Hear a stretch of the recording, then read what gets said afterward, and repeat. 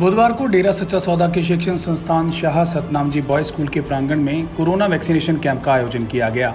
इस दौरान मिनती का शब्द बोलकर कैंप की शुरुआत की गई। कैंप के दौरान आसपास के लोगों में वैक्सीनेशन को लेकर ज़बरदस्त उत्साह देखा गया।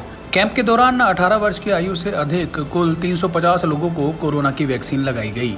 इस दौरान वैक्सीनेशन करवाने आए लोग अनुशासन में अपनी बारी का इंतज़ार करते नज़र आए। वहीं वैक्सीनेशन कैंप के आयोजन को लेकर स्कूल प्रबंधन ने उचित प्रबंध किए हुए थे। रोलर स्केटिंग रिंग के शेड के नीचे आयोजित इस वैक्सीनेशन कैंप में लोगों को गर्मी से राहत मिली और बुज़ुर्गों एवं लाचार लोगों के लिए बैठने के साथ साथ पीने के पानी आदि की भी व्यवस्था की गई थी। इस दौरान वैक्सीनेशन करने आई मेडिकल टीम ने स्कूल प्रबंधन द्वारा किए गए इंतजामों की भूरी भूरी प्रशंसा की। वैक्सीनेशन कैंप के लिए आई टीम में corona warriors doctor Anita Arora, Kiran ANM, Suman GNM, Suman ASHA worker, Nirmal ASHA worker Yogesh M Shubham ने अपनी सेवाएँ दी।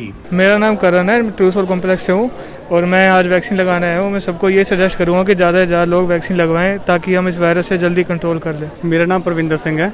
मैं सासनाम जी पूरा से आया हूँ जो यहीं सिरसा के पास ही है और कोविड वैक्सीन के लिए आया हूँ फ़र्स्ट टाइम है।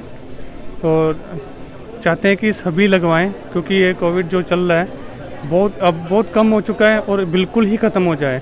सभी के लिए ही मैसेज देंगे कि लगवाएँ जल्दी, जितना जल्दी हो सकता है लगवाएँ।